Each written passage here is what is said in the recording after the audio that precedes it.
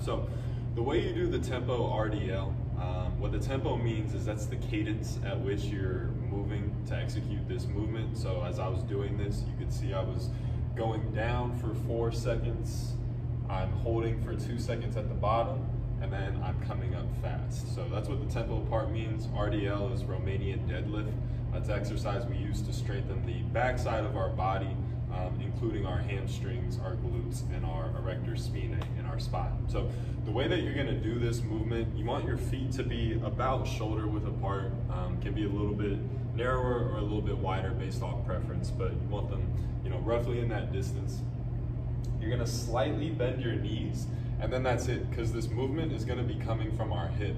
So the cue I want you to think of when you're executing this is to push your hips back as if you're closing a car door if you were holding some groceries in your hands, right? So I'm gonna push my hips back, and that's gonna help me get into this lower called hinged um, position, okay?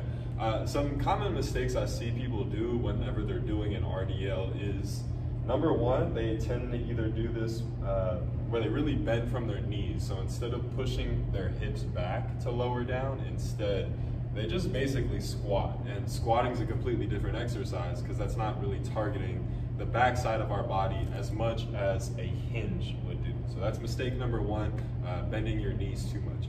Mistake number two that I see is not pushing your hips back at all. So what they'll do is they'll um, instead of pushing those hips back, they're gonna just bend through their spine. And that's more spinal flexion as opposed to hip flexion, where we can then get a powerful extension that strengthens the backside of our body. So mistake number two is bending too much through the spine as opposed to pushing the hips back. And then mistake number three that I see is rounding of the spine as they do this. So it's kind of related to number two, but you'll notice as I'm pushing my hips back, I'm maintaining this arch in my lower back, in part because you know I'm, I'm kind of keeping my chest up, um, my eyes are looking down, but a little bit straight ahead. That allows me to maintain this curve in my lower spine. Um, but what I'll see sometimes is as people push their hips back, they end up rounding through their uh, back.